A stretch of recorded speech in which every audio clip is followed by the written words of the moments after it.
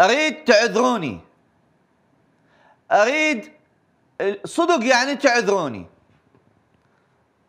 أريد أنزل على المجتمع. والله العظيم. هاي المرحومة مروة القيسي. ما يجوز عليها بس الرحمة. إيش ما كان وش ما صار ما يجوز عليها بس الرحمة. أنت أبو راس يلي تتفلسف بالكيبورد وتتفلسف بالتواصل الاجتماعي. تعال يمي. انت يلي محسوب على المجتمع. تعال يمي. انت لما قاعد تألف قصص ومقلوب رأفة الهجان على هالمرحومة انت أحسن منها؟ انت أشرف منها؟ خلي يحجون علي يقولون عليها كانت راقصة. ما قلت يا أبو راس شنو اللي خلاها ترقص؟ أنت وأمثالك المجتمع هو اللي خلاها ترقص. لأنه هاي وغيرها وغيرها وغيرها لو لاقيه حكومة شريفة الحكومة عاهرة لو لاقيه حكومة شريفة تنطيها راتب وهذا استحقاقها تشتغل ما تشتغل تنطيها راتب مواطنة عراقية.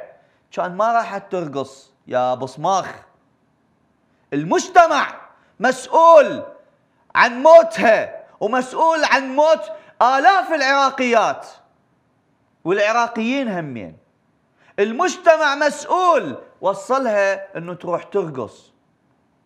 واللي قاعدين بالمكان اللي هي ترقص بيه والله العظيم أشرف من أي أبو محل فاسد سخيف ساقط.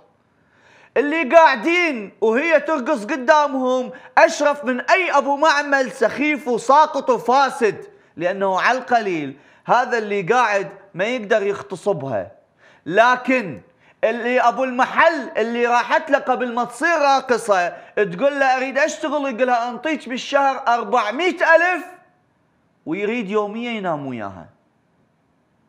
لكن اللي قاعد يسكر بالمكان اللي هي ترقص به ما يقدر يقول لها هذا الكلام. تروح تسوي اللي هي تريده. هذا بالنسبة للمجتمع. أما بالنسبة للحكومة اللي اليوم صدق تستحق تقول عليها حكومة عاهرة.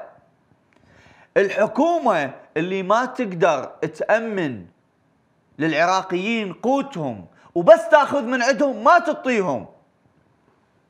لو الحكومة مطيت راتب كان سوت هيك؟ لو الحكومة تنطيها 500 ألف بالشهر بدون تشتغل ما تشتغل كان سوت هيك؟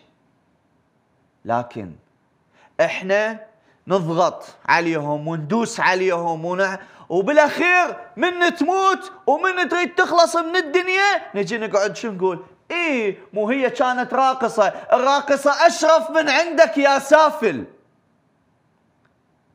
راقصة أشرف من عندك. على القليل ده تشتغل بعرقها. ما ما مادة إيديها. حكومتك راقصة. حكومتك عاهرة. وأنت يلي شايل لي سبحة 101 وخاتل.